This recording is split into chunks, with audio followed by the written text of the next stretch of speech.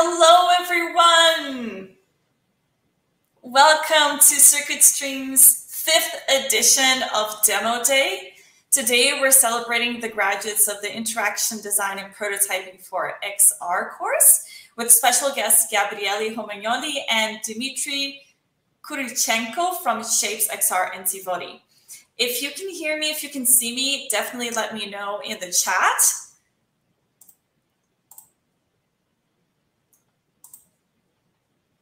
There's a little bit, and also it's important for me to say that on this platform, there's about a second, seven second delay from when you're writing the chat and from when I can see it. So let me just check here. Oh, there's the pop-up chat. Oh, perfect. Okay. I'm getting those answers. You can hear me and you can see me.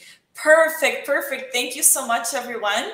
Uh, so I'd let, love to start us off with uh, letting you know, say hello and let me know if uh, where you're tuning in from.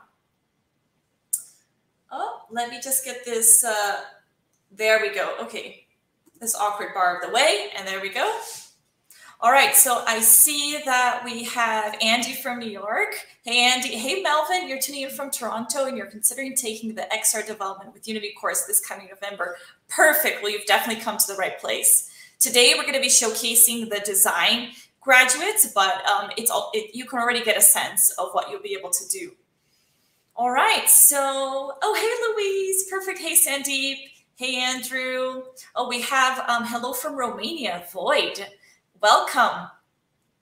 Moose Jaw, Saskatchewan. Whoa, hey Louise. Mark Porter, brilliant, loud and clear from Ireland. Perfect. Andrew from Boulder, Colorado.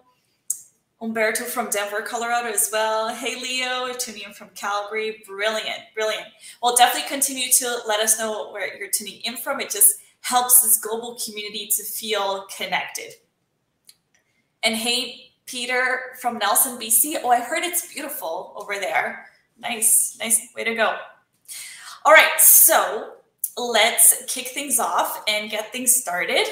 I'm going to start us off with uh, the agenda for the day. So I'm going to give a, a brief introduction uh, uh, about who we are, our special guest today, and kind of, um, you know, which course these students did, what they worked through, what you can be expecting for their projects. And then we're going to dive into the student projects. Uh, it's about a 60 minute for that. Each student will have around 10 minutes to present the project, explain a little bit about it, why they took the course, things that they ran into. And then after they're done presenting, I'm going to invite you all in the audience to ask questions, make comments. So definitely do not be shy. And then we're going to close each student off with some special feedback from uh, our special guests of the day. So Dima and um, Gabriele. And then at the end, there's going to be a really fun prize draw. So uh, be sure to stay until then and a quick wrap up. And then, so we have lots planned for today. Um, right afterwards, we're going to have a post-show discussion in VR, in Old AltSpace VR, where you can, you know, talk to all of the students, everybody else that uh, attended this event. You can talk to some of our instructors. You can talk to the special guests. So it's going to be a great and casual opportunity to ask more questions. Uh, so, you know, definitely I encourage you to tune in then if you can.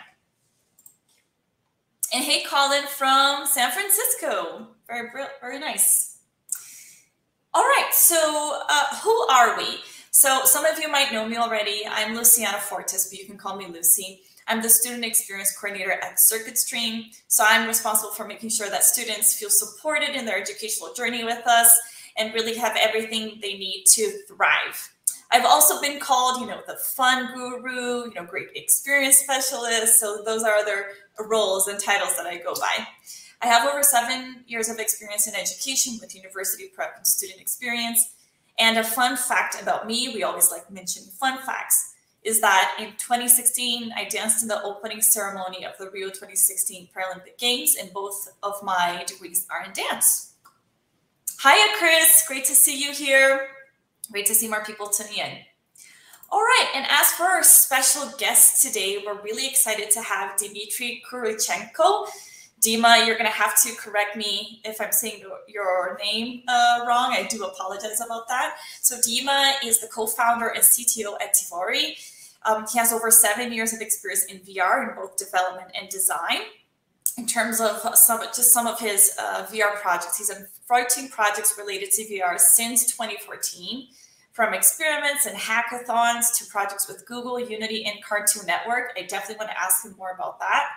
And um, he he made an award-winning experimental game that was awarded by Oculus in 2015. VR boss, yes, I agree, Chris. Uh, hey, Sonia. And Void, I've already tested Altspace VR and it's pretty cool, though VR chat is cool as well. Brilliant. Definitely want to see you there, Void. All right, and as for Gabriele uh, Romagnoli, Gabriele is an expert in VR for design and collaboration. He's the head of community at Tvori, and he's inspiring the masses to create for and in virtual reality. You do have to check out his LinkedIn. He's always posting some of the coolest things that are happening in XR, so you should definitely check it out. And he learned to make cool videos by creating clips of him and his friends jumping on rooftops. Wow, kids, do not try this at home. Uh, so I'm going to write that down to ask him about that later on as well. All right, so um, Dima and Gabriele are both the forces behind Shapes XR. Shapes XR is a brilliant multiplayer design and prototyping software for immersive experiences that makes creating and communicating early ideas accessible and effective. So if you are a designer, if you're an XR designer, or if you're in design, definitely an amazing tool to check out. Um, Chris is saying amazing, cool, and creative people. You bet, you bet. All right, so what about us here at Circuit Stream? So Circuit Stream was founded in 2015, and since then, we're really proud to say that we've had over 40,000 learners.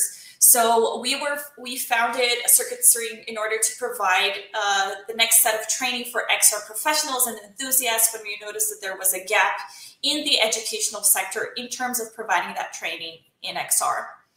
Uh, and we are proud to say that we are a Unity certified training and channel partner. We have a really close relationship with them. So channel partners are approved based on their expertise and commitment to providing the highest level of training possible.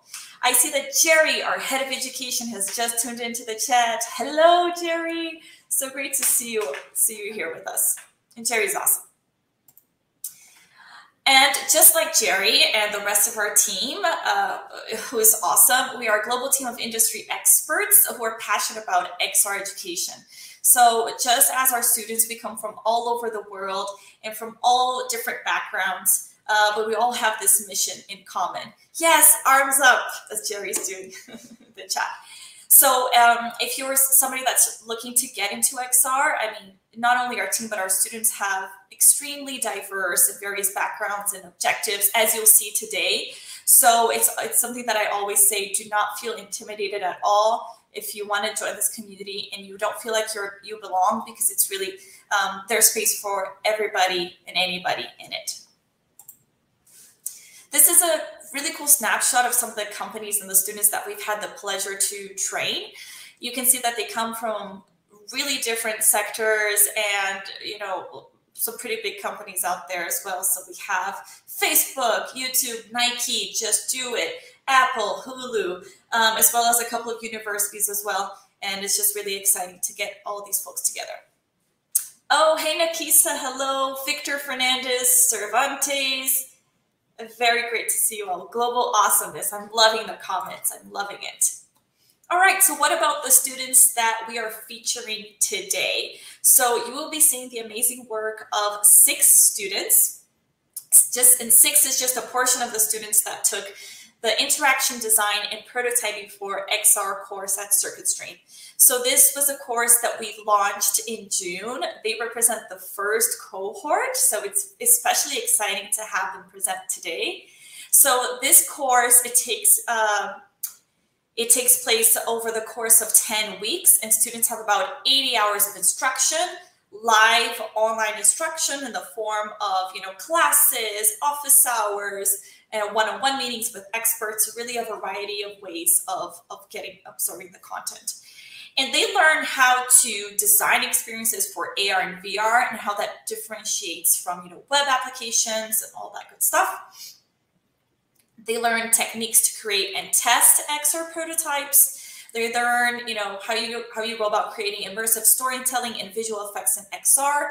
And just it's important today um, for you all to take a look at just the choices that they've made with regards to the interaction, interface, and overall user experience in XR. So this course doesn't involve any coding at all. So it's really about how they chose to set up that environment and that overall experience for the user. So that's something to look out to. Awesome. So we got, um, I think it's Dayon that's uh, that's tuning in through Circuit Stream. Uh, our Dijon. We have David. Hey, David. Brilliant. So great to see you all. And now, can I get a drum roll, please, in the audience? Without further ado, we are going to launch the student projects. And for our first student, we have the wonderful Vishali Razukar. Vishali did the Museum of Experiments. And um, a brief description is the virtual space where I display my recent VR learnings, my secret vault where I can exhibit my experiments, and interactable artwork. So I'm going to bring Vishali up on stage. Hello, Vishali. How's it going? Hey, hello. Uh, well, hello from Rotterdam. It's going good. Excited to share my project, which is still a work in progress, I would say. But uh, I think, hey, it's, it's good to get some feedback and uh, share what we have learned so far because this is such a cool course. Absolutely. Brilliant. Yeah. And just it's great to see you from all, you know, the other side of the world tuning in. What time is it there right now? It's 2112. Wow. Okay. Flip. a trooper, a trooper. Very nice. All right. So um, we have lots of encouraging emojis from uh, the audience. So without further ado, uh, shall, shall we go to your slides? Uh, yeah, yes, please. Uh, well, maybe uh, if you go to the next slide, I, I, would like to just give a brief introduction about myself and the intent of the project itself. Well, my name is Vaishali. I'm, uh, I'm a UX designer and uh, why I wanted to take this course was for the fact that, you know, uh, well, the field of XR is super exciting for me as a designer, but also I've been finding my own creative ways to to prototype these ideas. And eventually I knew that, okay, I have to get over that whole learning curve of, uh, of Unity and really need to get my hands dirty in. And then I found this course and which I felt was something that would fit me because again, no code, um, so yeah, uh, that's that's that's what it was, and I would say the project itself kind of uh, has morphed into uh, a collection of my learnings in the space of XR itself. So if you go next, uh, Lucy, uh, essentially what I want to share today is the is my design process uh, that went into this project and the kind of decision journey that I had to take through. So when I started off, I wasn't really sure if it's going to be AR or VR experience but essentially uh, with my tut- uh, with my one-to-one mentor Raghav, we decided okay we have to go for VR because AR is something I have been doing quite a lot uh, already, uh, and VR in Unity would be something a great step to take forward. But what exactly in VR? If you go next, then that's where I had like two different ideas there. And when I when I spoke about VR itself, I, as an interaction designer, I was trying to think about the the ideas, for instance, how exactly a tactile interactions can be brought into virtual um, space itself. So when I say tactile interactions, something that you can touch and feel, your everyday materials that you can get inspired from, uh, you know, uh, when you touch, grab, or pinch different kinds of objects. So how can I bring that in? It was a really wider scope, but then I had to kind of narrow it down. So what I really mean by that, if you go next, then in the mood board, hopefully, you when I start collecting different inspirations, it's, it's essentially interactive wall that you would touch and then it will kind of behave with uh, based on your gestures essentially. So with this idea uh, initially, um, we thought, okay, well, what if we, we go with the with the idea of mesh deformation in Unity, which did not eventually work. So what I tried to do with my other learnings uh, in other softwares, for instance, Cinema 4D or Gravity and etc. etc. This was also to streamline my workflow. So I, I kind of took down one idea and tried, tried to prototype it into 3D program and then took it to Unity. So if you go next, what I really mean by that again is uh, I hope these videos will play on them on their own. So how exactly would this interactive wall look like? Uh, was something that I was trying to prototype again to give an idea also to my to my mentor uh, about my vision itself. So again, uh, what kind of different deformers can be added? How exactly the gesture could could um, could react to particular cell of that whole wall and things like that. Mm, I think they aren't working, but uh, I think they're they're just loading. Yeah, yeah. We'll give them just a quick a second to. Yeah, so the so Vaishali's main demo, demo video won't go through won't go through these bufferings. Um, I, I think we can skip uh, skip next. It's uh, right. well, essentially, it's just about the process. And as I was saying, that you know, the whole idea about this uh, doing this project was also to amalgamate all of my learnings that I'm doing in VR itself. So it was really to create a space. Again, bringing all the learnings from the class. So I started working with the with the world space and the the exhibition space itself. I wanted to make sure it's open and uh, also closed uh, enclosed space and there is a series in uh, that I did in Gravity Sketch, which is called 36 Days of Type, which I wanted to exhibit as well, or the sculpture that I made in uh, in Adobe Medium, and of course the learnings from Unity itself, and the, the, wall, the interactive wall itself, which is on the on the on the on the terrace of the of the museum. So yeah, I, I essentially you can probably uh, you can have a sneak peek in the, into the video that will Lucy will play next. And as I said, this is still a work in progress, but uh, I'm super happy that I could achieve so I could come this far and work with materialization and uh, world making and adding those interactions in, in VR itself. Absolutely. No, and it's so amazing to see kind of your process. It gives us such an enriching experience of the final result. So shall we go to the video? Uh, yeah, sure. Brilliant. All right. And then we're going to open up to uh, questions. So prepare yourselves, audience.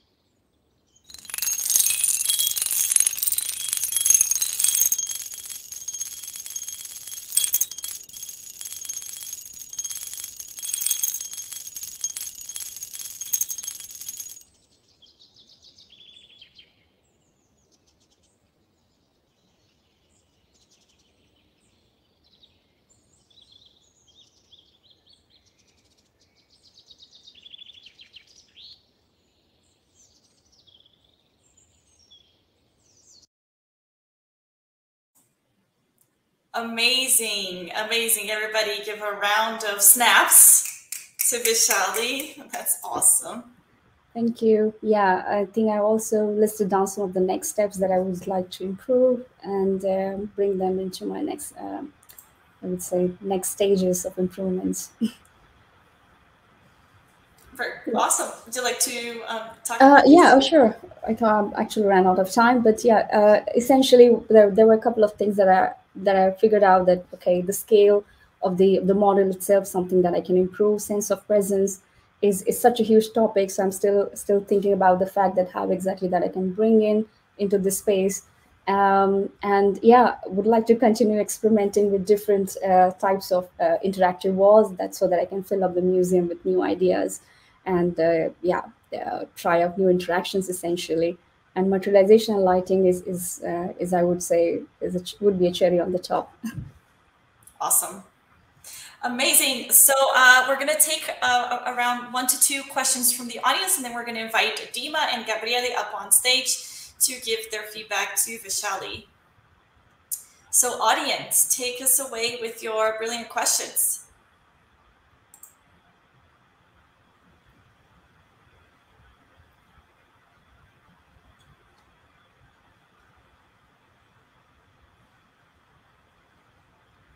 All right, so um, maybe what we'll do, maybe audience is still thinking they need some time. They're too blown away by your project, Vaishali. oh, okay, we got a question from Andrew. Never mind. All right, so Andrew's asking, um, let's bring it up on stage. Was that experience through Oculus Link or standalone? Uh, yeah, I was through Oculus Link because well, I personally use Mac and I had a lot, of, lot of trouble getting that uh, working. So I had to switch to PC, and then it was through links. I didn't really do the build on the uh, on the device itself yet, uh, but yeah, this was really real time going uh, on through the link. So that's why probably there is a paper clip effect uh, in some uh, at some on some occasion. But uh, yeah, this probably was because of that. Brilliant. All right, so I'm just going to go ahead and invite Dima and Gabriele up on stage. Sonia saying, I feel you. Hello, Dima. Hello, Gabriele. Welcome. Hello, everybody. Hello. Hello. Thanks for having us. Hi, Vishali. Um, it's great Hi, to have you with Hi, us. So you can just go ahead and, uh, well, first of all, we're so privileged to have Dima and Gabriele with us. Uh, it's such a pleasure. Um, so I'm going to go ahead. Maybe Dima and Gabriele, if you want to just say where you're tuning in from, and then you can fire away your feedback to Vaishali. Sure. I'm actually, Vaishali, not that far from you. I, I'm in Leiden. Uh, so I think oh. it's uh, maybe 40 minutes away. oh, that's super great to hear. In the Netherlands as well, for who doesn't know. Okay. Oh, London, of course. And uh, I'm popping in from uh, St. Petersburg. It's it's not that far away from where Gabriele and Vaishali is as, as well. I mean, comparing to Canada, it's uh, it's pretty yeah. near, almost a neighborhood. yeah, yeah. I, re- I really like this mix of uh, kind of uh, basically uh, this music making and basically yeah, the, the wall is interactive. You can you get a sound from it, and then you can change it uh, so it's basically like a an art sandbox, right, where you can interact with the art and uh, then change it maybe in a way that uh, is unique. And uh, especially if, if it had more variety of sounds, I imagine someone, especially with musical kind of maybe training, could even make uh, music with, with it, right? Kind of make music and then and change it visually. So yeah, I think it's it's it's definitely uh, can be explored further as even making it into a standalone kind of instrument, even maybe. So yeah, what I like is that um, basically when you move away, that's kind of like really the moment that you see what you have done, right? And that was one of the things that I was thinking. So, and also if someone explored it for the first time, he might not know that by touching it, that would be triggered, right? So I don't know if uh, maybe having a ghost hand hinting, hey, there is something that might happen here. And maybe giving instead of hands, but a tool to browse through the things.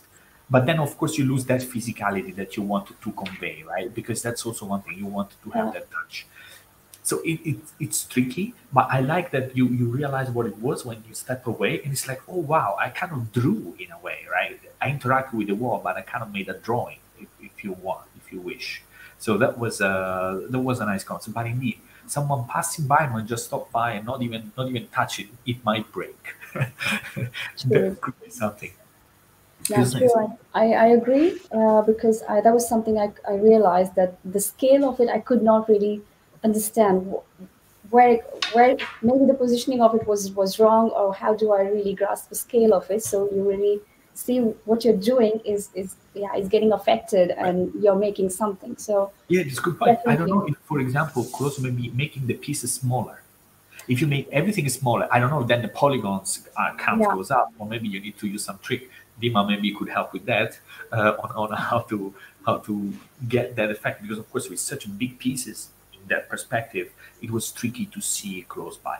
Uh, but yeah yeah I, I, also like the, the, the, navigation panel that you put like to help people okay here there is one thing here there is another thing. So people kind of like also know what to expect uh, in terms of okay if you go in this path if you go in this other path. And now also the gallery remained open to some extent because you, you got that that uh, opening in the ceilings. Uh, so that was so that was also nice. Maybe just one question is what was the intent behind right? So the the idea of exploring this kind of like touch to some extent is a face. Was that was there a need or a discovery from your side uh, that you wanted to have? Uh, well, it's something that came from my, uh, I would say, my design practice in itself. Uh, because I've been, uh, I've been at my day-to-day work. I'm actually bridging physical and digital uh, inter interfaces or interactions. I'm talking about the knobs, if it's okay. a really embedded GUI. So I was thinking, okay, how can is there a way that I can bridge it? And I was really ambitious in the beginning, trying to really have a physical surface, and then that I could map in the VR, and then I could actually see what's happening. That's how it kind of uh, uh, sprouted the whole. The but I like the evolution. I think there was a nice approach. Yeah. I think it's also the, the talent of scoping down something that is ambitious to something that's still conveying and was about also all the learning, right? It was not just about creating an effective simulation of that thing. It was to scale it down and bring all, everything that you have learned in one project concise and manageable. So I think it was uh, it was actually a, a, nice experimentation, especially knowing the story and the idea and uh, the process. That was really nice. Thank you for your feedback. Brilliant. Well, another round of, of, uh, of snaps to Vishali. That was amazing. Yes. Claps too, you know, we welcome, or the sound, the wall sound. If I could have it here, you know, we would probably. domino here. I'm gonna get my son's room. that was brilliant. Thank you, Gabriele and Dima, for the feedback. Um, you know, uh, some people had some great questions in the chat, but for the sake of time, I'm just gonna let you, Vaishali, answer them there, or maybe in the in the post-show discussion in VR. Uh, thank you so much. I'm going to remove you guys off the screen so that we can have our next set of presenter. Yeah, thanks a lot.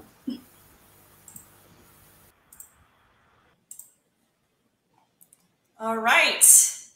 So you can you can all see we've started with a bang. That was amazing. I love that. Definitely want to try that out. We're going to go next to Jackie Farrell, VR Cornhole. Play our cornhole game in VR. Choose your location, transport there, and play. And here we have Jackie's contact info if you'd like to um, connect with her on LinkedIn. So let's bring her up on here. Hello, Jackie. Welcome. Hello, how are you? Good, um, how are um, you? Good. All right. Um, probably the easiest thing is maybe just to move ahead to the, as I set it up to the next slide. So um, this is just a for anyone who doesn't know, probably a good place to start is um, uh, uh, that this is cornhole. If you're wondering what it is, it's the two um, wooden boxes where you actually throw a bag into the hole, and that's kind of sets up what what my project is. I should start off also by saying my background is not in design or, or anything like that. It's in marketing but was interested in learning more about the AR VR experience. And so uh, took this course, thought it would be a good introduction where there wasn't a lot of heavy coding. It got to um, learn more about the user experience and, and design, which I had some familiarity with from working in the marketing space with, with other types of designers. So thought there was some, that was a good uh, stepping off point, so to speak. Um, Absolutely. So when we say that you can come from any areas, it's true, right? It, it doesn't mean it's going to be a piece of cake, but you can do some great stuff, right? You, you can, and it was definitely the course is really the course is great. Lots to you can. For me, it was basically uh, coming up with a concept that was kind of fun, and this is what I picked. Um, and trying to apply the concepts we were learning in the class. I picked a VR project um, and then try to build a basic prototype just to get an understanding overall. So yeah, and, and the, the coursework and the one-on-ones were great to, to help with that. And we can pop along to the next slide and I'll take you through my project. Awesome. So I started with the the one on ones, uh, came up with the VR cornhole and and started off with just what the concept would be, and that's where we started before we narrowed down what the prototype would focus on. The idea was just to like uh, enter a waiting room and you could select is it a single player game for, for VR or would it be a multiplayer game?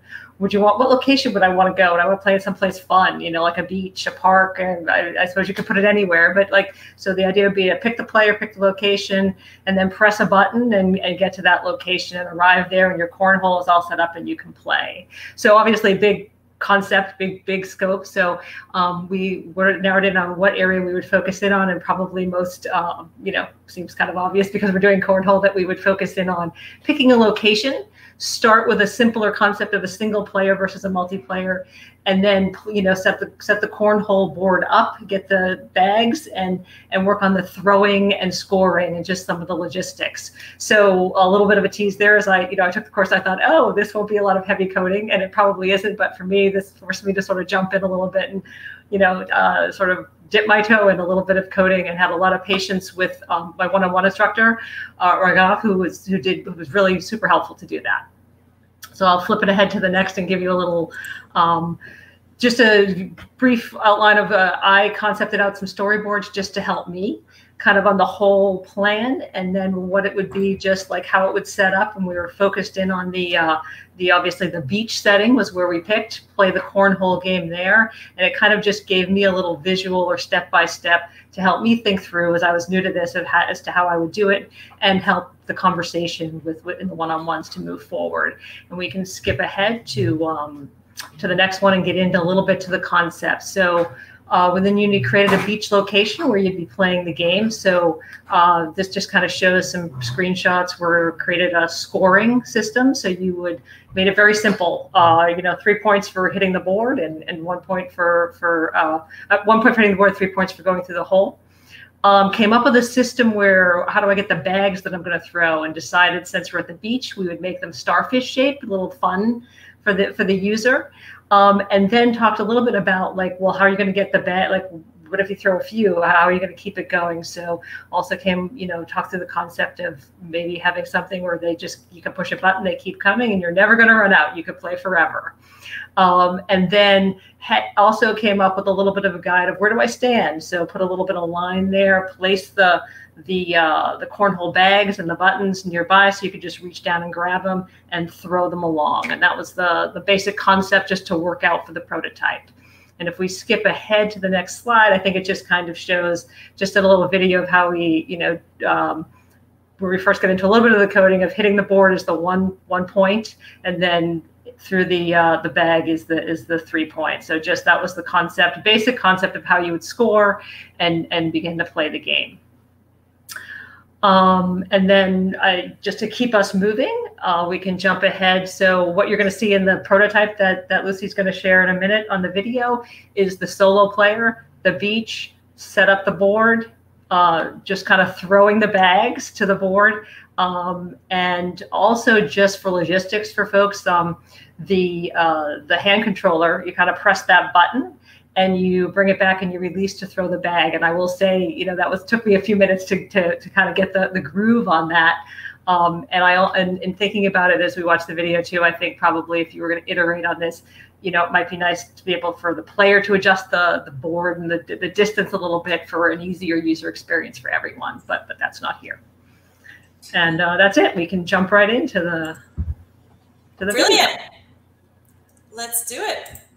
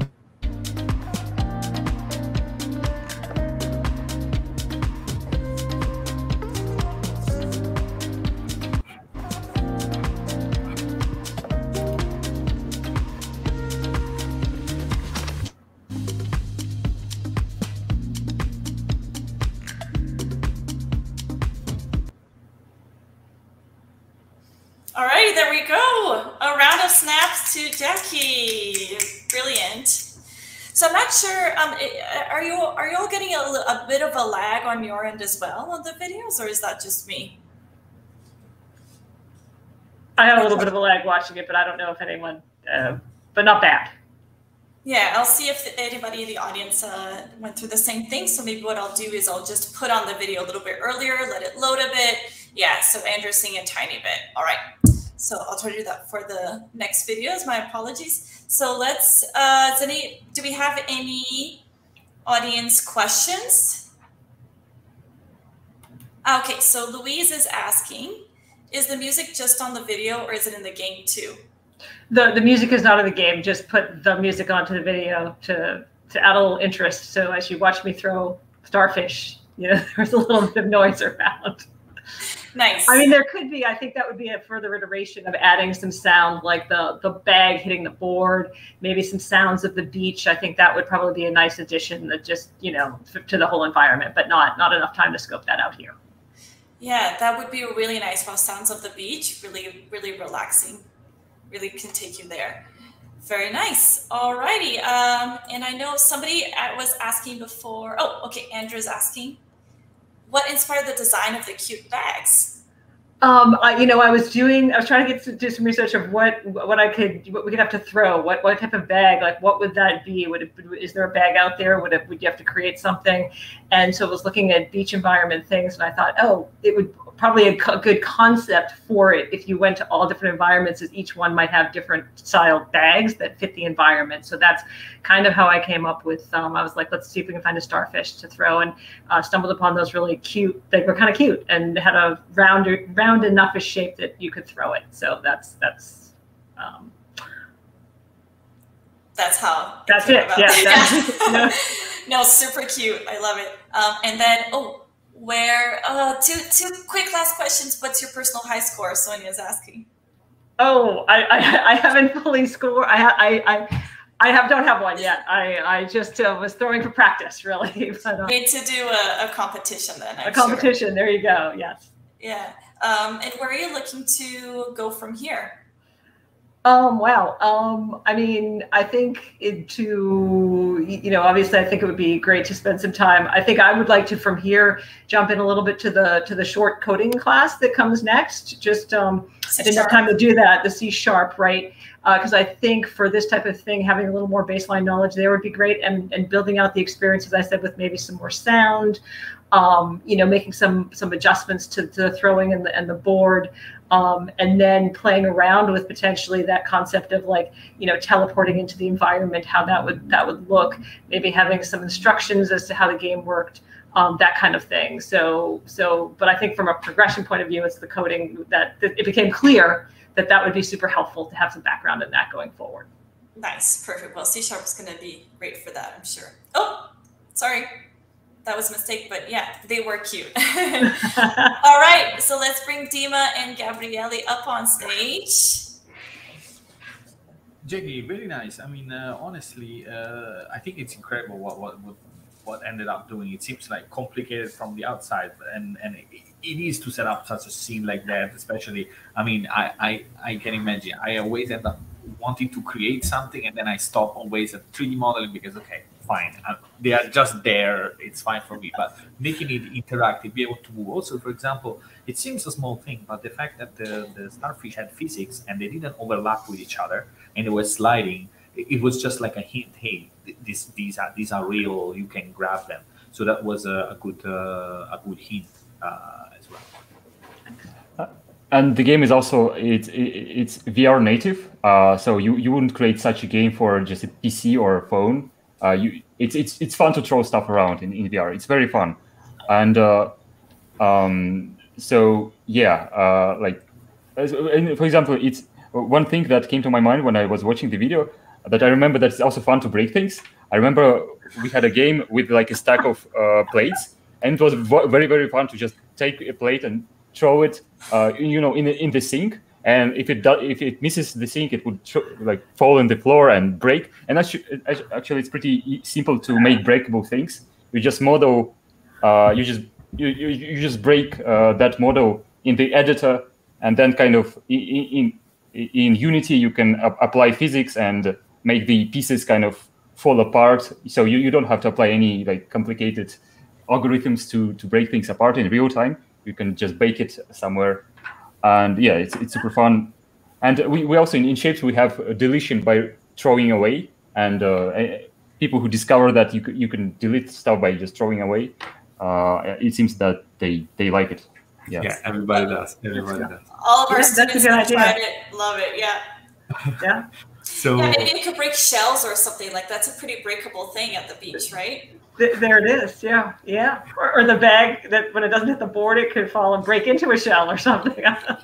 yeah, and especially you you, you also notice uh, stuff like when when something hits the floor or or surface, if it if it has a sound, it's especially you notice that in VR especially, and if it has a satisfying sound, it, it's great. So in, in case of breakable plate, it was awesome to hear them break. And I imagine this bug, if it has a kind of sound that you know you uh, you apply when when it hits the surface uh, that that is kind of adds to immersion. Question I, one question I had is that I've seen that the button was on the left side, right? So there was mm. that button that was on the left side, and it felt it was a bit low. Was there a reason for? Because of course, so there is a bit of inclusiveness, right? So you can say, okay, majority of people are right-handed. I'll put the button, I would say, in the right because I'm pointing the right, he's pointing on the right. I grab it with the right, and then I throw it maybe throw it in the middle so that you get it, and, and then it spawns, and everybody decides what to push, which hand to push it. That's a great idea. Yeah. Why decided, why, there was a specific reason why you decided to put it on the left, so that I have to kind of like cross like this to do it, or um, was just... Um, there really wasn't. I was actually using my my left hand to to to, to do some of it, um, but right. but okay. uh, so I didn't. But that's a great. Yeah, that is a great idea because some people might uh, to make that in as the next iteration to make it easier to press the button. So there's not a lot of you know switching or figuring it out. That's that's a great point actually. Yeah. Another thing was also wondering. Uh, oh, I mean, of course, that's when it gets harder. When things also get harder. So I'm not sure again because I might say, "Oh, but you could do this, you could do that," and it's super. Right. But one point was uh, some sort of feedback when you score.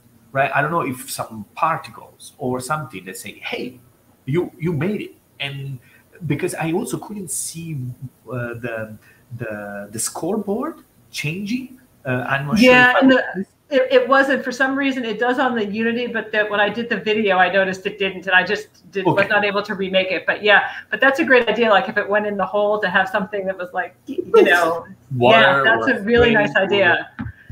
Like yeah. dolphins coming out and spraying water.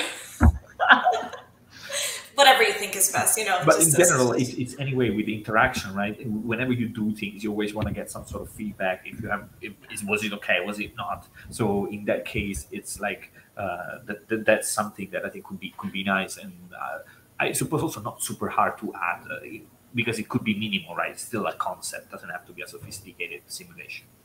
Yep. Great. Thank you. That those are great ideas. Awesome. Nice job, Jackie. Thank you, Gabriele and Dima. Well done. All right. Uh, congratulations to you all. I'm going to take you guys off the stage now. And let's go. Next, we have our lovely Martin Schott. I'm going to bring Martin up on here.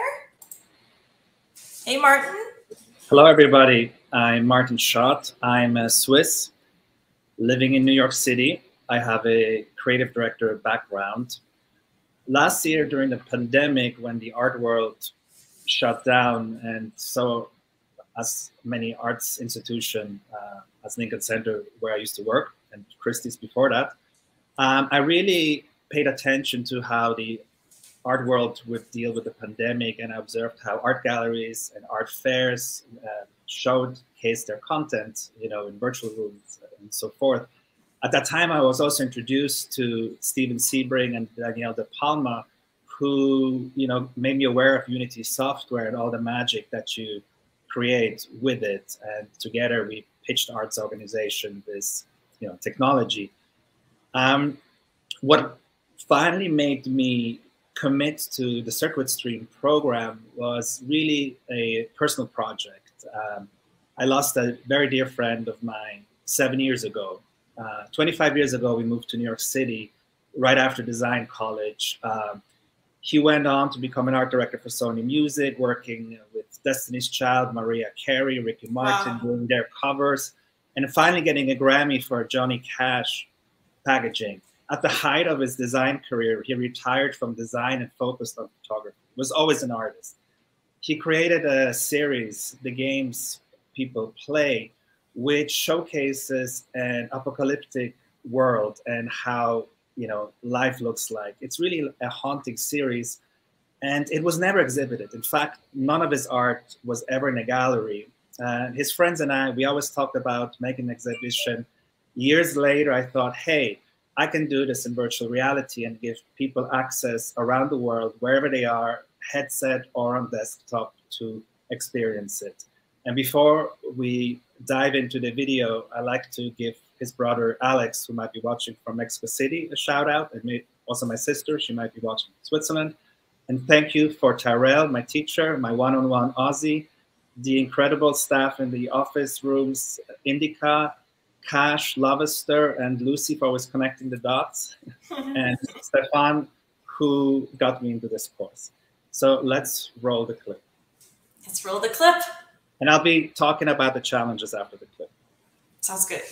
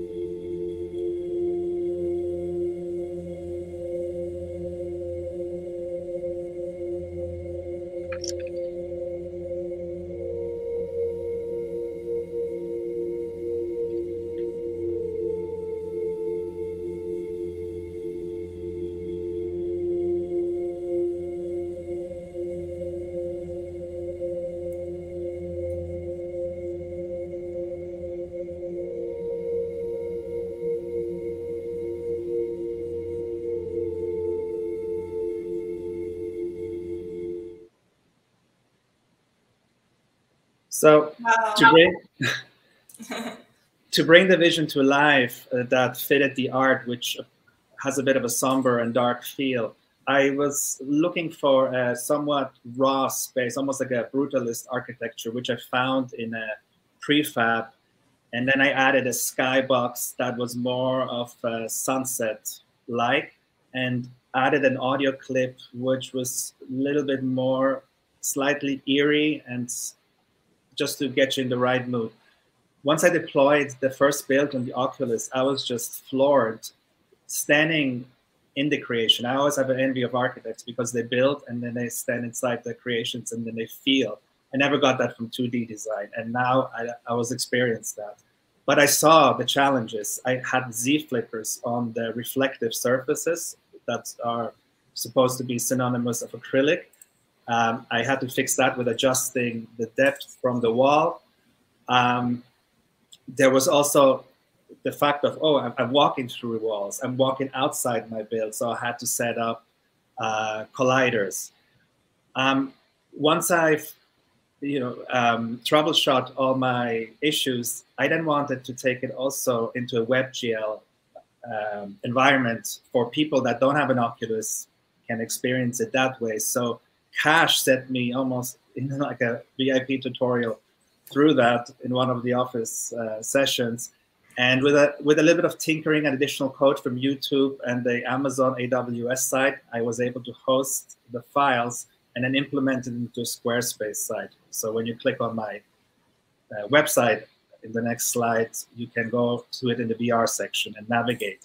Use Firefox or Chrome.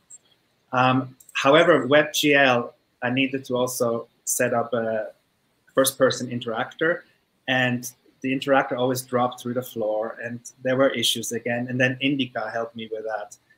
Um, the longer you are with a project, you want to add more things. So I wanted to add benches, but then you don't see the reflection everywhere. So new reflective probes.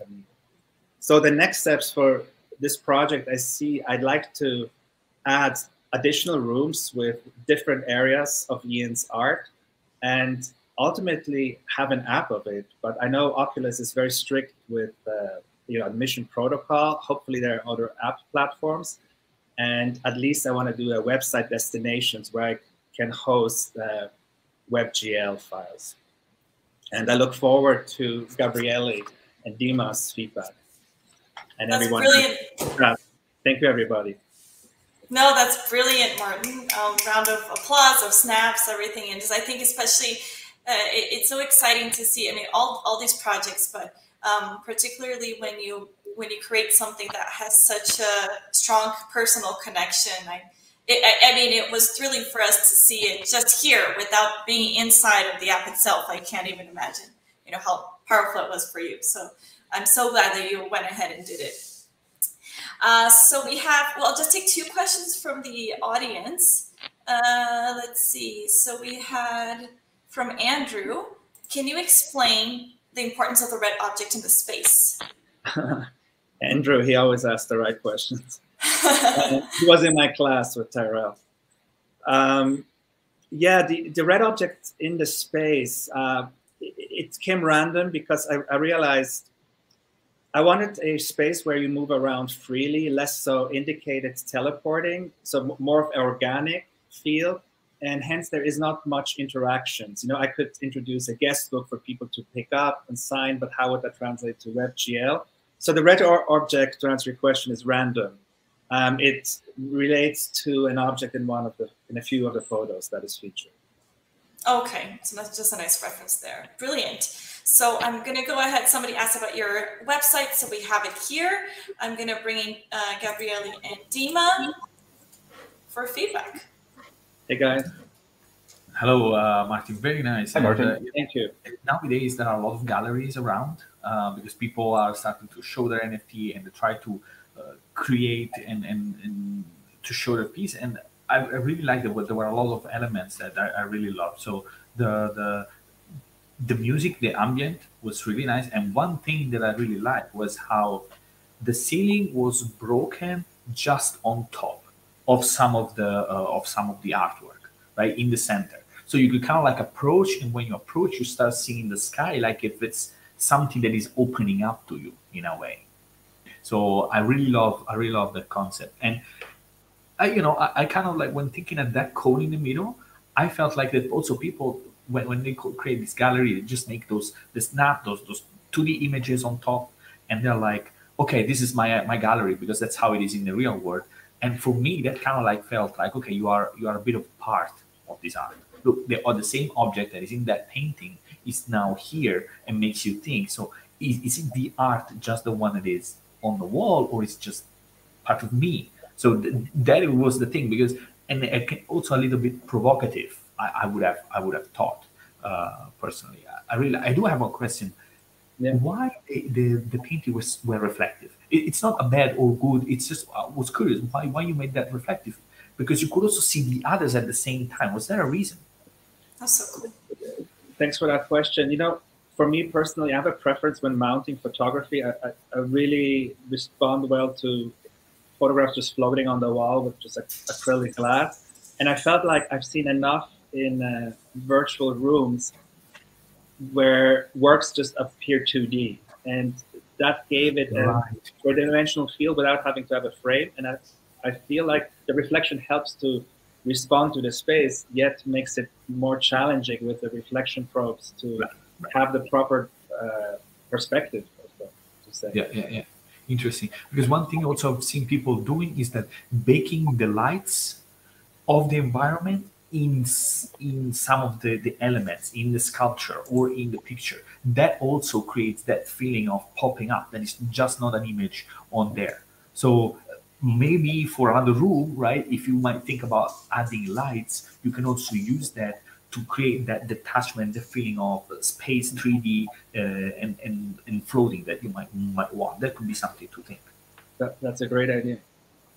Thank you and on my end, uh, I had uh, two thoughts slash ideas. The first one, uh, when I saw that uh, that uh, red shape um, in space, I instantly remembered this, this guy uh, named Martin Nebelong. So what he does is he has a hobby where he he gets inspired by art pieces and recreates them in 3D in using Dreams on, on, on PlayStation. And not for the sake of gimmicky, he, he actually adds some life and atmosphere. And I, I recommend to check him out as maybe as an idea to maybe collaborate with an artist who can recreate some parts of the art pieces uh, in that uh, shared space to kind of uh, basically bring some of the stuff from art pieces uh, in, in, in, in your 3D space. Maybe that can add to immersion, uh, immersion and then uh, kind of help people to. Um, and another thing is to, about distribution of the, those of this gallery. maybe there is a way to collaborate with, say, say there's an upcoming Facebook Horizon, right? If they have import of images, maybe you could create recreate this uh, gallery uh, in Horizon and then add music, and it will be easier to invite people and also have basically uh, have visitors like vi visiting, and you can experience that together with someone. Or and and there is a project. basically virtual museum in virtual reality and they have variety of art pieces created by different artists um, like made with Tilt, uh, Brush and uh, Oculus Medium and other stuff. And I, I, think they may might be also looking for collaborators to add it kind of a room with with those art pieces. So I will just send the link just in case uh, to those That's uh, awesome. people. I need to check that those out. projects. Thank you. Oh, and one thing is like footsteps, because that's Yeah. one thing that Did you hear them? I didn't. They were No, they, they actually in and I, and I wanted to delete them, or maybe in some build they got deleted. don't, you do like the don't, footsteps. don't keep them. Okay. That was brilliant. Um, yeah, and one thing I noticed from that is that uh, with art, uh, virtual art galleries, it can be so simple to just say, "Oh, it's just a place where everybody can access it," you know, given the restrictions in the pandemic. But the cool thing about virtual art galleries, you can curate the space itself to converse with the artwork as well, right? So I thought that was really interesting how you had the this idea of you know the artwork is in not just the artwork itself, but it's also in the space. It's also in the reflection. So everything. It's also in how the space itself. So I thought that was a really interesting you know potential in VR. Anyways, just throwing in there my, my two cents, but um, that was amazing. Thank you all. Thank you, guys. All right. So next we have, uh, let's see. Let's bring up the presentation on here. This is Martin's contact info. If anybody would like to contact him. And now we have Maxime. The spy is a little helper. So my project is inspired by spy movies, games such as I Expect You to Die and Job Simulator with a twist. You're the one sitting in the van gathering the intels the spies need to accomplish their mission. The gameplay ranges from taking pictures of suspects to hacking IT video systems and planting bugs in the server room. Brilliant. Let's get Maxime up on here. Hello, Maxime. Oh, you're muted. Let me see if I can unmute you. Yeah, There I was muted. so hello, uh, I'm Maxime. I'm a, web developer from uh, Switzerland. So I have a little background in UX, and I was really curious on how it's uh, translated in uh, VR. And I had already uh, an ID, uh, that ID, uh, before uh, joining the course. So it was the occasion to ask question and see how it's done and how it should be done and how the interactions are working in VR compared to a normal 3D uh, video game. So you can go to the next slide. I have a black Ah. screen. yes, Sorry. sorry about that. Let me add it to there. there we go. so you can uh, so uh, the idea was the um, in in most uh, movies we often see in spy movies so we see there's they have a preparation phase where they will uh, take picture of where they have to go and uh, set up uh, bugs in the um, in the place they will go or hack system and i always find it re- really uh, interesting and I wanted to create a game using those uh, premises.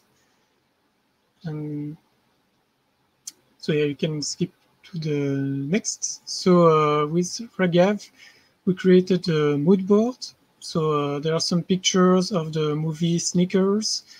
And then also I wanted to feel uh, retro, uh, retro vibes, so really uh, huge buttons and old school uh, device, like we can see in the pictures.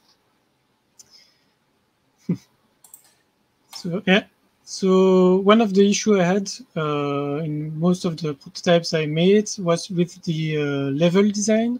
So most often I would use uh, assets and put them uh, together, and it ended up with uh, I ended up with a level that had no uh, intention and no it, it, felt empty. So we discussed about how to create a compelling level.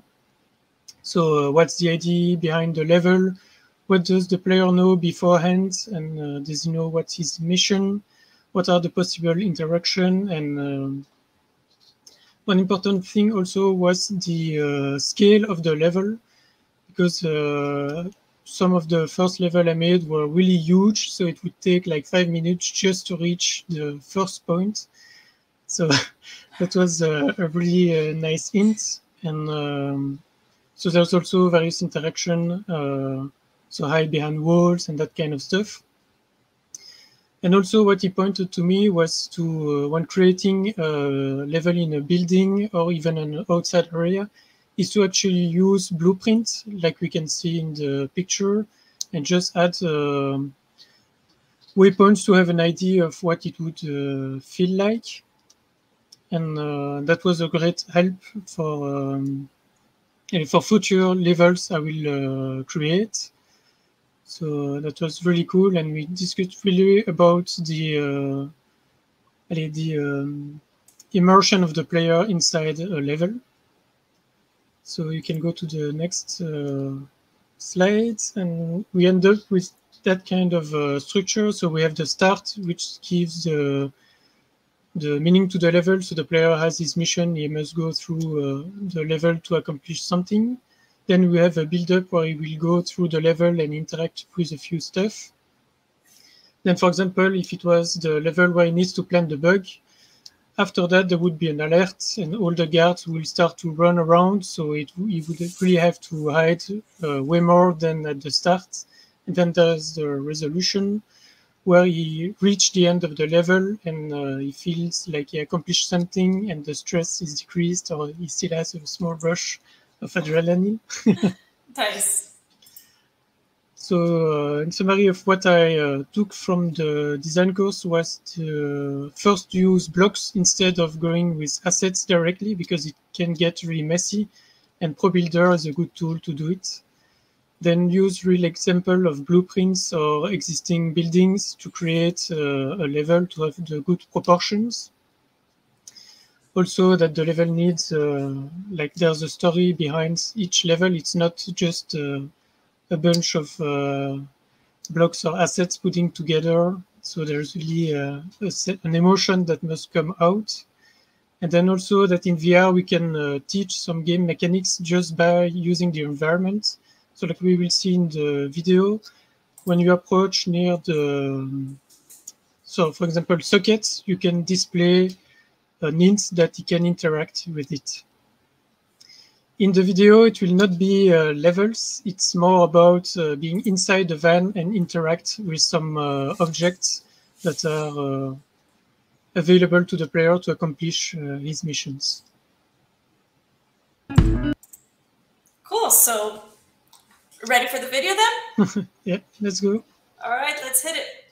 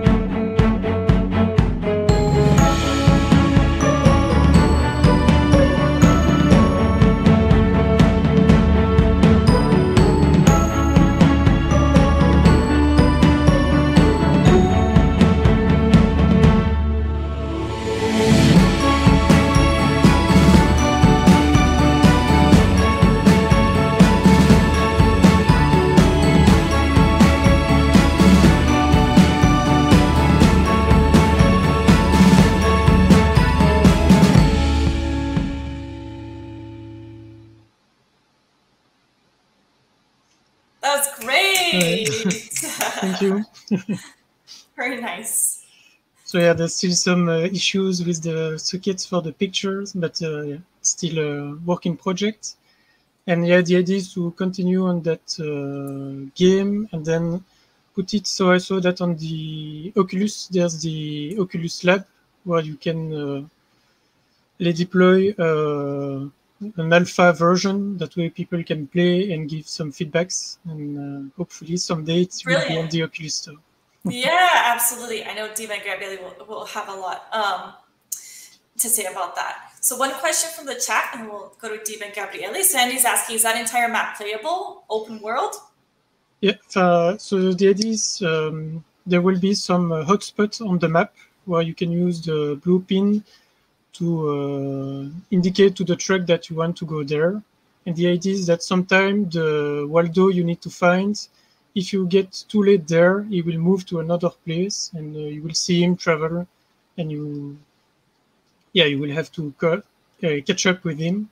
But yeah, there will be various hotspots on the map and sometimes new spots will appear with specific uh, new types of mission like for example entering a building or that kind of stuff. Nice. Awesome. All right. So dima and gabriele take it away. Dima i started before so you want to go first this time? Yeah sure. Uh, i mean the uh, I, you have lots of great mechanics uh, and uh, like starting with that you have gadgets all around it's very physical. You you go to the ga- to gadget you get it in your hand like this camera with the zoom. I mean it, it feels fun. It looks like a fun game. Uh, that the fact that you are in the van, you can move on the map. Uh, I mean, it, it looks great. Uh, and um, yeah, and being being sneaky in VR is is also fun. So yeah, I wonder uh, like what what th- thoughts do you have, or uh, maybe already planned? What type of mechanics do, do you plan in terms of like, are you going to be sneaky? Uh, are there some people or someone who watches you and you have to be careful Yes, so there will be uh, like guards that have mm-hmm. uh, a state, so they're either idle or patrolling. And when they sees you, they first go in mode in search area. So it spawns mm-hmm. various points, and they check those points. And if they find you, it's uh, they go in alert mode, and there they will follow you actively. And if they reach you, it's I don't know yet if it's game over or if it's just uh, you lost the mission Mm-hmm. But uh, yeah, and um, I was, uh, I, I hesitated between uh, teleportation or the continuous movement, but I think teleportation is less sickness prone. Um, mm-hmm. I know that some people are more they can get easier the motion sickness easier. So yeah. And yet, like I uh, quickly mentioned, there will be hotspots on the map, so you can hide uh, near a wall mm-hmm. or go inside a cabinet to avoid being detected. That's pretty cool. I think nice. your collaborator wants to. And maybe you should have a cat. Maybe you should have a cat in the game as well. Yeah. no, I mean, it was really nice. I mean, like, for example, if you could grab object from afar, it makes a lot of sense. And I also see this also being very interesting, actually, a room scale so where you could have those object and gadget potentially arranged within the room without the need to teleport. So you yep. really feel like you are in a van. So yeah. I, I didn't get actually that you could actually move between spots using the map. That was brilliant because you're always in the same thing, you're always in the same spot, and you could change the environment, you could change a lot of things around, still feeling and also in the future you can also add the, the customization to your van right? And, and maybe your own. So there is a lot of opportunities there. Uh, I, I, think i like it. And mostly the, the, different game mechanics and all these things going on really feels uh, organic. Yeah I, I, really like it. It was, uh, it was a nice concept. Thank you. Amazing. Congrats maxime. Thank you gabriele and dima definitely. Well, you know, you, you have lots of players for all of the yeah, for sure, here, right? And, uh, so anybody my pleasure like... to share it. Absolutely. Yeah. All right, thank you, everyone. So Thanks. we have next.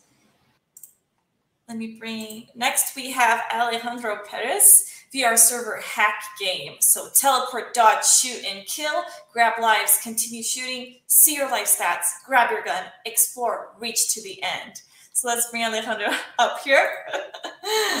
Did you like my intro, Alejandro?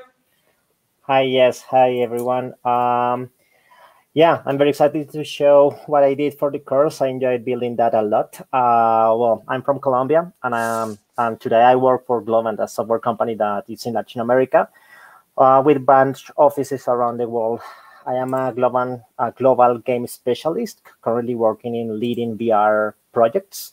Um, okay, I, I decided to take this course since I already do something from the development side, but wanted to understand the different aspects that are needed to design a good experience for the players, something that is totally different if you compare it with developing games for PC or console. And of course, Maxime, when you when when he uh, showed the, the game that he did, demonstrates that. Uh, of course, it's it's completely different of making a, a, a game with with controller pads or something like that. With VR is totally different, and I wanted to to learn more about that. And as you would see in video, my project is a VR shooter pixel art nostalgic game. I feel I, I like all the pixel art um, and all of these kind of retro games. I had a Super Nintendo. I'm still having it. I'm still playing games in it. So I totally love that kind of art for the games. Um, and in this game, um, you have to you have to explore the world with a gun in hand, accumulate score while you are killing monsters, and try to reach to the end in less than 10 minutes. Um, during the game, you will find some life pickups and all the stuff and secret doors to explore new areas. Um, and as you will see, the scenario emulates like a software scenario of a server, like you are exploring inside the server, an enemy server, and you have to uh, enter there and, and simulating that you are like a program. And obviously, my inspiration is a 90s series that I had that I watched when I was a kid, and it was called Reboot. I don't know if anyone in the audience uh, saw that. Um, the Reboot, uh, where I, there are a lot of characters inside a server, and where is a game loaded into there, you they have to go inside the game and try to uh, beat the user. So it's kind of like like that. So yes, uh, so let's roll the clip, and then I can mention about the challenge that I have building this game because it was a lot of challenges.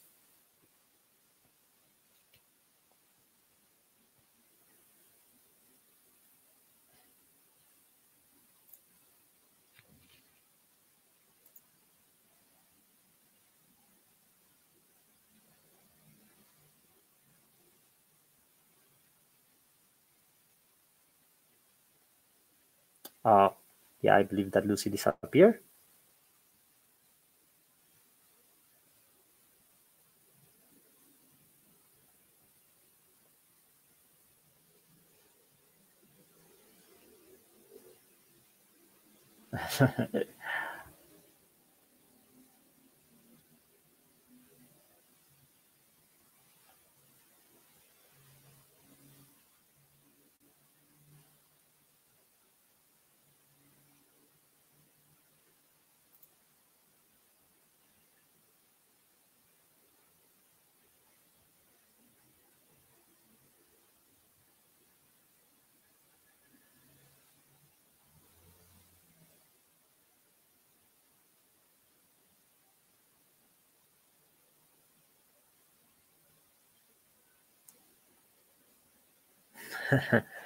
okay, but you see Lucy there?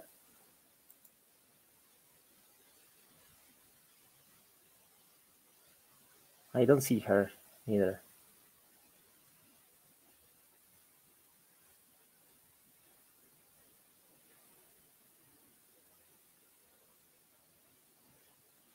You want me, I can uh, mention the like the the challenges that I have with with the game. Um, we can talk about that. Um, okay, what what game do you play the most on this NES? Mortal Kombat Ultimate was my favorite game. On that, in fact, I'm I'm I'm still playing it uh, nowadays. So yeah. Hello, ah, everyone. Yes. I just, you know, just to keep things interesting, get that adrenaline up. I'm very sorry about that, everyone. My computer start decided to freeze. So there you go. All right. So let's get Alejandro's uh, brilliant project up on there. Hopefully, I didn't miss much. Okay, yes, uh, the, the, the, roll the clip, and yeah, we can continue talking up uh, after that if Perfect. you want. Yep. Should be up in a minute.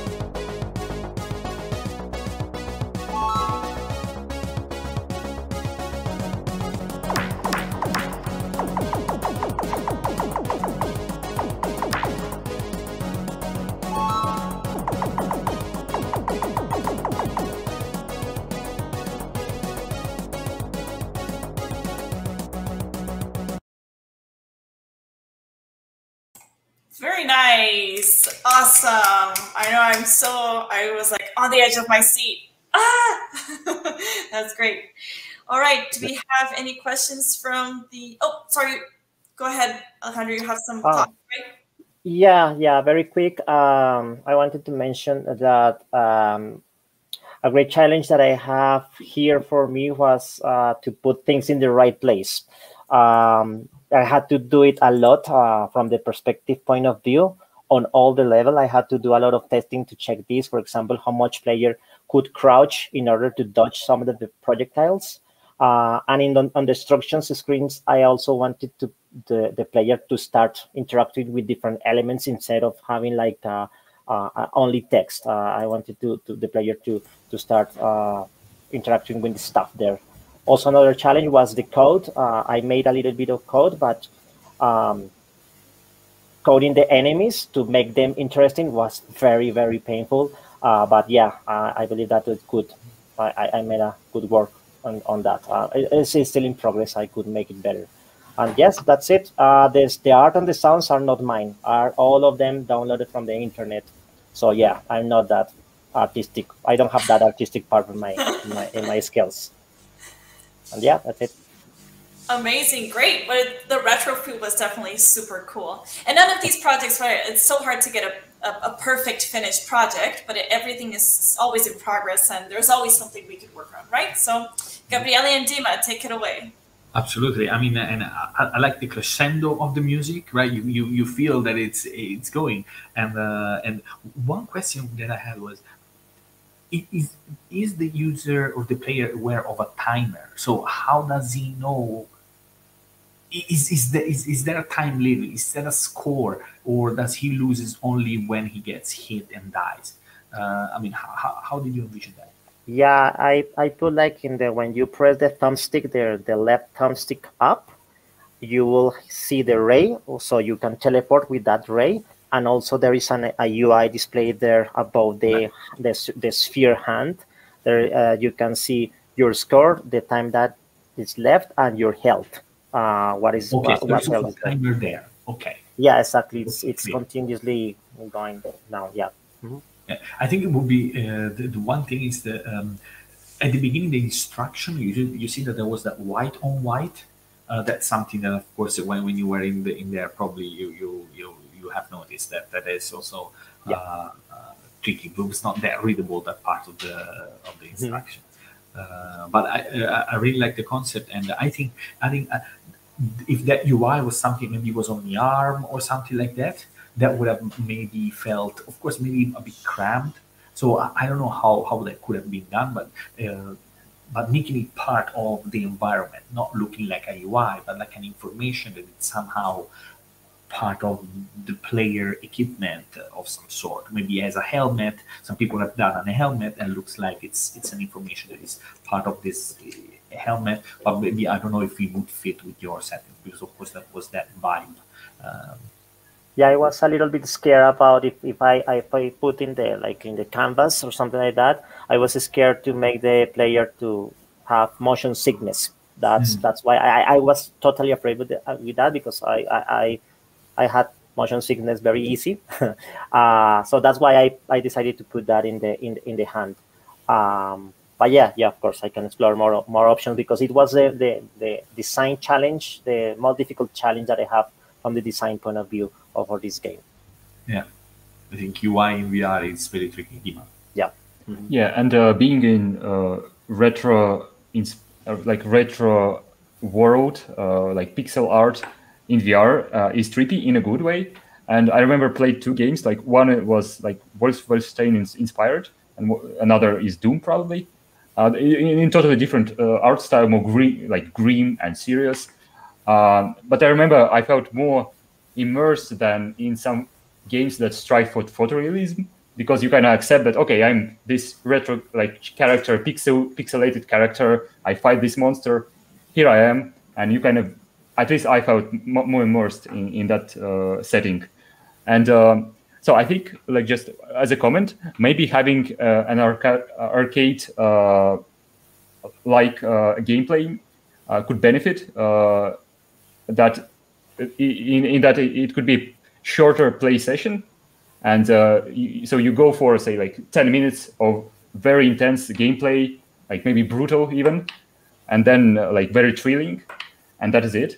And that even uh, i think could work uh, as really like a real arcade, arcade game you know where i mean now it's not as uh, not that uh, i guess popular with COVID, but after that, I, uh, I, I, guess some some people will play arcade as well. So having that short gameplay sessions could benefit. I don't know if uh, what, what you planned uh, about the gameplay uh, duration, but that one, one thing that uh, came to my mind.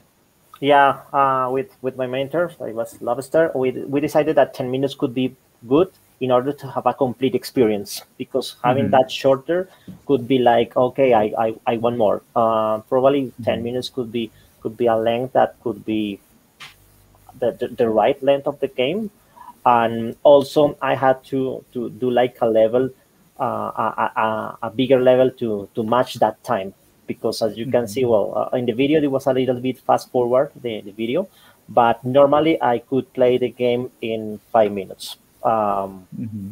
so so yeah, yeah balancing that with, with the time and the uh, the length length of the of the level that it was also a challenge to build the the level uh, is something that I could work a little bit more on the next version of the game. And you could sell like coins as NFTs, and people can play that game only by buying that coin and kind of injecting that in, into the blockchain nice. of your arcade. Yeah. Very, very yeah. trendy. yes. Amazing. Well, congrats, Alejandro. That was awesome. Thank you, Thank you Dima and Gabriele. And uh, so now we have, last but not least, to close off the presentations, we have a Jacob Weiser with us. Let me go ahead and just put on. Oh, one Hello. here. Hey. Hello, Jacob. How's it going? Hey, I'm doing good. Can everybody hear me?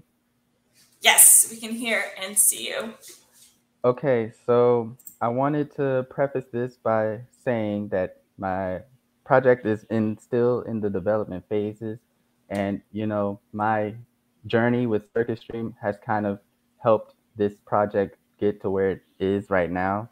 It's more of an exponential curve than a linear curve when in terms of uh, how my you know my program progresses. And so the premise of this uh, program is on history and i was basically at an impasse with my career at the start of the pandemic. And then I thought of having a different outlook more creatively. And so I decided to go into game development. And so that's where I found Circuit Stream and I took the I took the first I took the the C sharp course back in December or November last year, and then I took uh, the XR development course in February and then I was working on this same project back then, but then after it ended, my computer crashed and I had to restart it from scratch. Oh and no. So, yeah, the the the but it was good because I was able to kind of regroup and you know rethink of how I can do this, and so I'm I'm way more proud of this than if I would have continued with the pre previous uh, version of my project.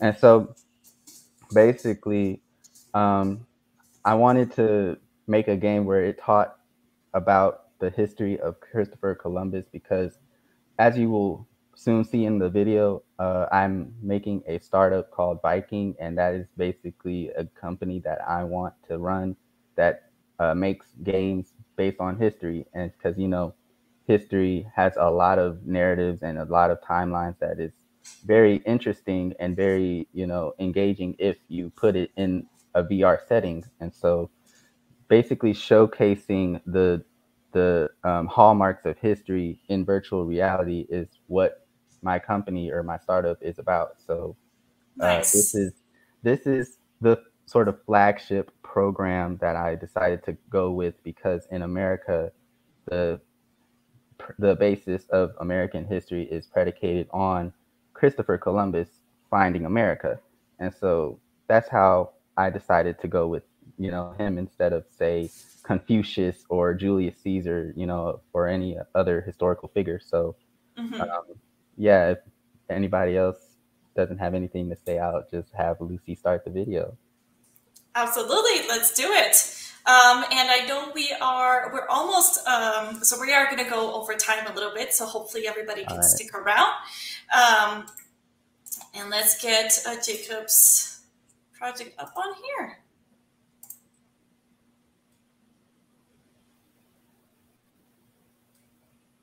That's my logo. Nice.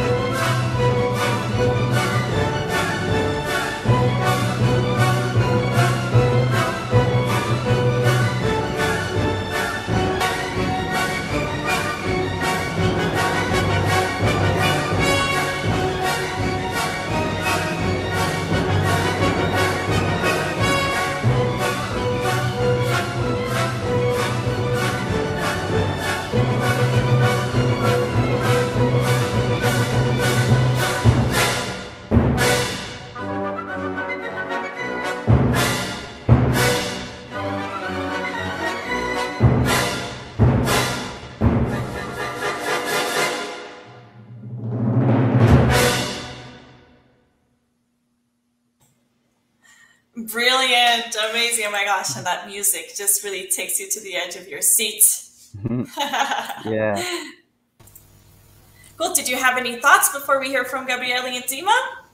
Um, I, I guess I could mention real quick how um, the interaction course kind of gave me the tools to do all this. Um, before taking the course, I was really, I didn't have any UI. So all the UI, you know, I see Sandra said that she liked the compass. So uh, I didn't have anything in there. So uh, the interaction design course had taught me how to implement UI in a engaging and effective way. And then also the animations that you see, how they can, you know, run and walk. That was, you know, all the interaction design. And so it was very uh, rewarding to go through that course because it helped me get this far. And now moving forward, I have what I need to go and basically complete this program, you know, and then have, say, other people that know how to model and, you know, get, because mm-hmm. uh, I, I do want to have like uh, historically accurate models, you know, because they were, you know, placeholder characters and I want to have actually the model that depicts Christopher Columbus in his likeness. And so mm-hmm. I don't have any Blender experience, so maybe that could be a shameless plug for somebody who knows how to do that to yeah to help me out. Collaborators. So, yeah, there you um, go. So yeah, that's all what I've gotten from the interaction course, and then my one-on-one uh, with Ashley, she really helped me out with some of the UI and also the animations, but also the gold because we kind of spent about two, three weeks on gold just from, you know, counting it up and then having it be in the inventory. That is, you know, you would think that that would be a simple, you know, thing just to count gold and add it to a, you know, a certain inventory, but that is a very complex endeavor. And so she really helped me out with that. And then, yeah, that's that's I, I got nothing but thanks for all those uh, people, Tyrell, Ashley, and then the whole interaction course itself. So yeah. Amazing. That's great to hear. All right, Gabriele and Dima, take it away. Yeah, and uh, I, I really like the the vastness of, of the maps that you explore. Uh, and uh, so I, I had a question. So um, uh, how did you create those maps, uh, those large maps with vegetations, with forests? And then how do you plan to either add new stuff or add uh, some details to those maps, such as like vegetation, I don't know, animals or whatever you planned? Uh, do you plan or, or did that by hand or using some sort of uh, basically like random placement of stuff? I just wonder what, what, what do you think about the kind of expanding it or adding new details?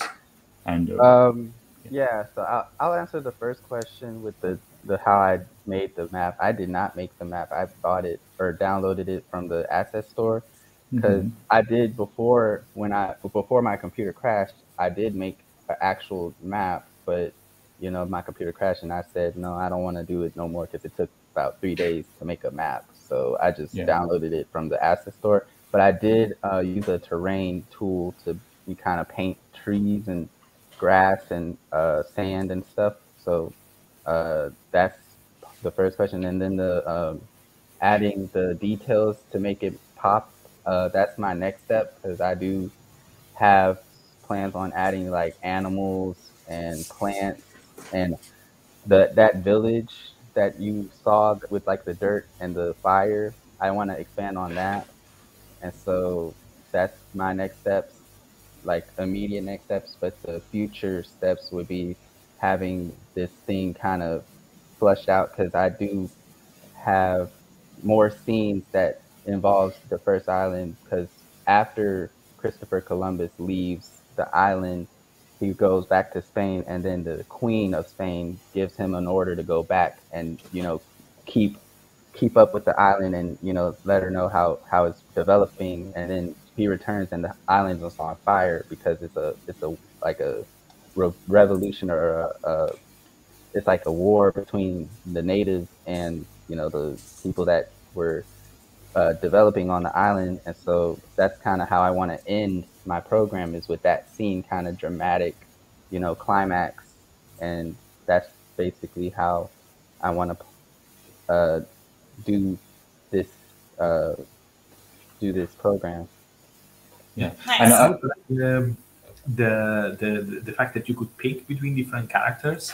So I suppose that maybe in your vision, I, I wonder if they might have different powers, and you also skip through at the beginning, but it was there was a narrative, right? There was some some Mhm. people were talking to each other, so that we need context about probably what you were going to see, what you're going to meet. So in a way to, to tell the story. Do you have any any plan for the uh, for different characters or power or, or things, or do you imagine them to be the same? Uh, I didn't think to make any uh, deviations from you know any sort of abilities the characters have, but Hmm. the main thing I wanted to do is have like a like a diverse, you know, because I do want uh like a Christopher Columbus character, but I'm gonna still keep the other three, you know, to to have that diversity. Maybe add a female, you know, player as well, uh, but the point for the you know the little narrative at the beginning i added that from you know this plugin called uh dialogue editor. And so that's Mhm. where i got that little text box. And then i actually drew the little icons the little you know character icons that you know was on the left of the narrative. I drew those and then put them in the in the game because I, I was gonna go online and buy or you know download one of them, and then I decided to just draw it because it would be quicker, and then I wouldn't have to go through no uh, copyright or legal anything. So that's how you know I want Yeah, to it's a good do idea. that. hmm And uh, I recommend to check out uh, uh, one talk by a guy who was one of the developers of the latest Spider-Man game, where they had huge city with millions of millions of details, and they didn't place all of the details by hand. They had a procedural uh, kind of basically uh, they used Houdini to place some of the things, some of the like features in the city on buildings and stuff like that. So basically, they, had a predefined map of the of New York, but then they added some details to building and events, uh, basically using Houdini. And if you're using Unity, there is a plugin that uh, that you can use to, for example, if you have a, a just a landscape, you can fill it with uh, trees or, or lakes or even some maybe uh, NPCs uh, uh, without uh, putting you know lots of lots of effort to do that manually. So recommend to check it out uh, in the It's, comment it's section. called section. yeah, so there is a program, yeah, Houdini. It's basically is an is a separate editor that allows to do different procedural stuff, uh, where you basically like use nodes and then create uh, either like ge- geometry or some type of uh, say logic. And yeah, there is a plugin with Unity, and let me post a link to Houdini as well. All right, I'll, I'll check it out. Thanks. Amazing. Well, uh, thank you so much, Jacob, and congratulations. Thank you to Gabriele and uh, and and Dima. Um, so I will. That's the, our last presentation of the day. I do have a quick wrap up. I know we're over time, but I just wanted to uh, give every all of the students a big round of applause. We just all right, everyone, a huge congratulations. That was brilliant, brilliant, brilliant. Thank you so much. All right, so um, I do, if anybody wants to start heading to the uh, post discussion in VR, you're welcome to do so. I'm just going to do the prize draw and a quick wrap up. So let us go ahead and do that. All right, so let's go ahead to the prize draw. So I'm going to, so the prize draw, we are uh, going to select one person who's going to win a free one-on-one session of 1.5 hours with one of our expert instructors. So I'm going to do a random draw based on um, the students. So students fill out surveys, feedback surveys throughout our course. And uh, the more surveys they fill out, the bigger the chance to win. So um, I'm just gonna get see if let me show you. I'm gonna get a random here. random number generator. We have 69 submissions and one, two, three, generate 52. And if I bring here the list,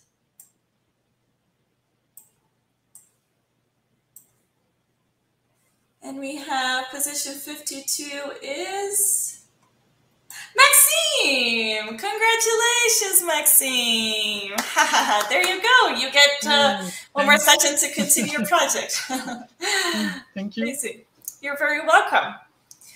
All right, so now we have, I'm just gonna quickly wrap things up. So if you are interested in that, if you're looking to get into um, XR and you'd love to take the, the, the interaction design prototyping for XR course, we do have a next cohort on November 8th. So um, in addition to all of those techniques that you learn, you get three hours of instruction per week, five office hours per week. It's flexible part-time and you have lifetime access to the recordings after they've been uploaded. So you do get live classes, but they're all recorded for you to access afterwards. And you also get industry recognized certifications and the option to add on a weekly one-on-one uh, session to get support on a personal project, such as all the students here today did. Um, you get a certification at the end. So uh, the Circuit Stream Certified XR Designer, as well as the Certified Professional Artist in Unity, you get the chance to take that test to get the exam. If you're interested, you can go on our website, download the syllabus, contact our admissions um, team. And that's it, everyone. Thank you so much for coming. I'm sorry about the, the tech issues and for going over time, but it was just so special to get everyone's details and explanations in there. I do would I would like to welcome you all to join us on Slack. Um, just get the link here for you. We can continue to chat. Oh, that's not what I wanted. One second here. Let me, and I'll post it here in the chat. So we're going to head over to a post-show discussion in VR, and it's going to be in AltSpace VR. But if you don't have a headset, no need to worry. You can join via web browser.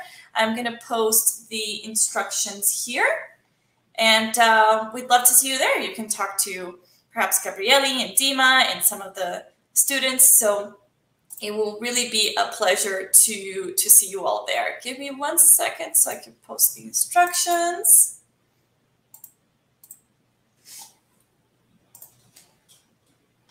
And if anybody has any questions or comments, for me, feel free to, to post them in the chat. All right, so let's see here.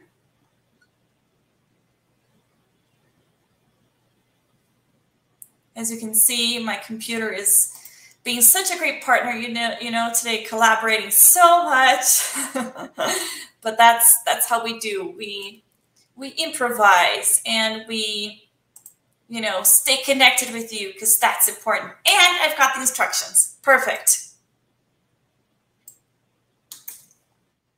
All right. All right, see you, Sonia. So these are the steps. So you can download AltSpace VR if you haven't already. Then um, all you need to do is um, create, let me, let me put it up on here. Yeah, so download AltSpace VR you create an account, you create an avatar, and then you enter the room via this code DKI988. And I can post here the link to AltSpace VR. Oh, that's totally fine, Louise. Thank you so much for uh, for tuning in. I really do appreciate it. And that's it, everyone. Thank you so much. I hope to see you in AltSpace VR. And if not, to see you in our community. I hope you enjoyed this, and I'll see you later. Bye.